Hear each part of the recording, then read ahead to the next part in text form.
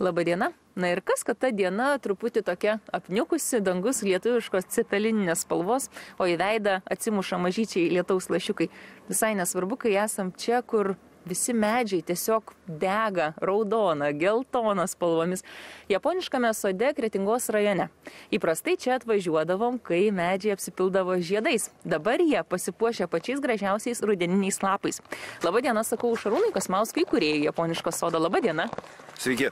Šarūnai, šiemet jūs suintrigavot taip, kad vienu metu praktiškai visi medžiai pasipuošia spalvomis. Ar tiesa? Taip, iš tikrųjų labai gražiai viskas vienu metu pasikeitė ir, ir, ir dar keisis, nes yra dar krūva, krūva medžių, matau, kur dar žali, ir, ir, bet jie toj keisis spalvas. Tai dabar šiemet tas ruduo kažkoks toks jiems, nežinau, čia toks švelnus ar ne, kad jie taip, kaip nutinka, kad vat vienu metu viskas. Nu šilta, vat, sekmadienį buvo 16 laipsnių, šeštadienį irgi buvo apie 15 laipsnių šilumos, tai nu, realiai toj lapkritis, o, o šiluma yra, kaip sakant, gana, gana rimta šiluma ir aišku nėra minuso. Nėra minuso, kai prasideda minusinė temperatūra naktim, tai greičiau pakanda lapus. Kol kas prognozijas nerodo savaitę į priekį jokio minuso pas mus, reiškia, visi lapai kabos. Kažka, kažkas krenta, bet tai labai gražu žiūrėti ir ant žemės, kada yra nukrytę, nes, na, nu, gražu tos spalvos iš tikrųjų lietuviškų medžių mes esame pratę. Na ką, klevai pagelsta, ten beržo maži lapeliai pagelsta. Čia mes matom įvairiausias. Labai ryškia raudona, tokia ugninė. Tada jau šitie kleveliai tokie irgi nelietuviški, jie nežinau, čia oranžinė spalva. Tai iš tikrųjų gal galit papasakot, kokie medžiai dabar taip gražiausiai čia tais lapais spalvotais apsipylę. A, turbūt vienas, vienas iš gražiausių yra sakuros Matėte, ten viršuje yra labai gražiai ryškiai oranžinė spalva. E, klevai kai kurie oranžiniai nusidažė, kai kurie raudonai. E, katilėlinis sėtminas labai beprotiškai ryškia spalva.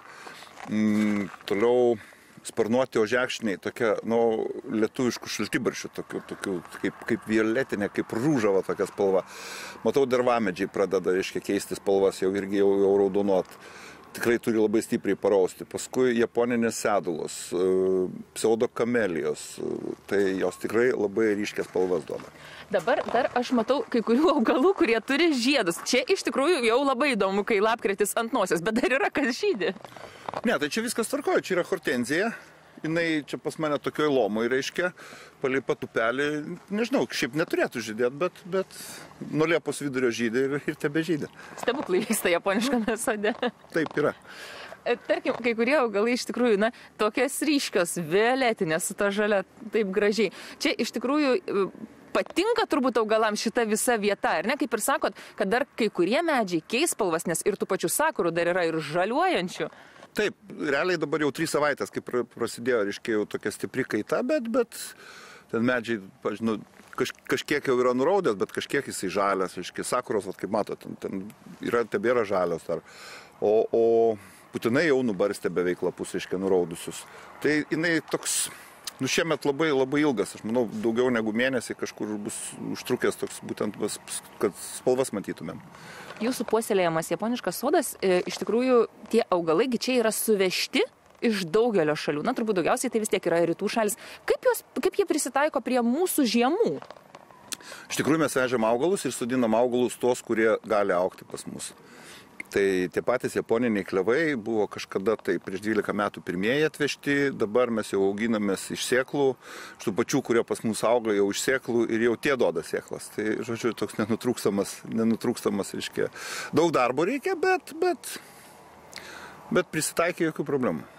Jūs turbūt dabar ir lankytojų matėm nemažai vaikštančių po sodą ir pats turbūt praeinat. Aš įsivaizduoju, kad kiek eini, tiek kiekvieną dieną galbūt net ir per pusę paros pasikeičia viskas, ar ne? Labai... Jo, kasdieną, nes, pavyzdžiui, iš ryto aš mėgstu iš ryto, tai, pavyzdžiui, šeštadienį išėjau iš ryto, saulė švietė, tai tokios spalvos, tai, nu, tiesiog, nu, fantastika.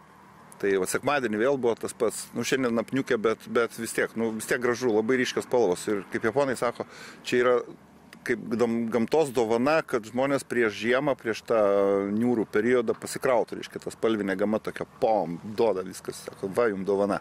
Iš tikrųjų, ta dovana labai smagi akims. Ir dabar žiemą, ar būna tokių augalų, kurie, na, mes matom turbūt, aišku, tos pušelės visokios jos žaliuoja visą sezoną turbūt, ar dar kažkas pasilieka per visą žiemą? O žaliuoti e, yra kai kurios azalijų rūšis, e, japoninės azalijos, kurios nenumeta lapų, o šiaip tik tai spigliuočiai lieka. Bet iš tikrųjų labai gražu, žiemą iš tikrųjų pats gražiausias laikas yra. Kada nukrenta lapai, tada tu matai visą sodo esmę niekas nebeužgožia, nes dabar tu nematai nei akmenų, nei nieko, dabar yra spalvos. Dabar yra tiek ryškų, kad mm, aš matau žmonės, eina vaikštoriškai, bando gaudyti, ką nufotkinti, net nebežino, į kurią pusę suktis. Teko tiek daug visko yra, sako, kad nu, nebežinom, ką fotkinti. Ir taip viskas gražu, ir taip ryšku, bet svarbiausia, vaikščiokit po japonišką sodą dar dabar, kol rudeniniai vėjai tų lapų nenudraskė, nes na ką, vėjas smarkesnis kils ir tie lapai nukris.